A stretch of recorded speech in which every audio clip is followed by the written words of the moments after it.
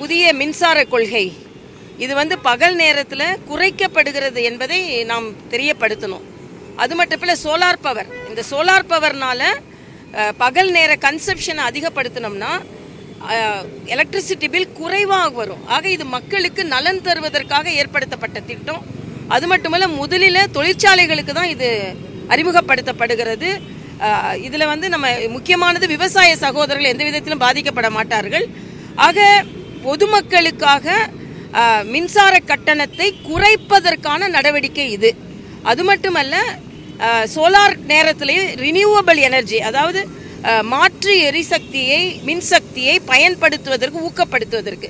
ஏன்னா வருங்காலத்தில் டிமாண்ட் அதிகமாயிடும். அந்த டிமாண்டை சரி பண்ணுறதுக்கு என்னென்ன முயற்சிகள் மேற்கொள்ள முடியுமோ அந்த முயற்சிகளை மேற்கொள்ளப்படுகிறார்கள். அதனால் மின்சாரத்தில் இது வந்து இதோட நல்ல தன்மைகள் மக்களுக்கு எடுத்துச் சொல்லப்பட வேண்டும். ஏதோ மின்சார கட்டணம் இரவு உயர்கிறது உயர்கிறது அப்படி ஒரு தகவல் தான் வருது. அப்படி இல்லை.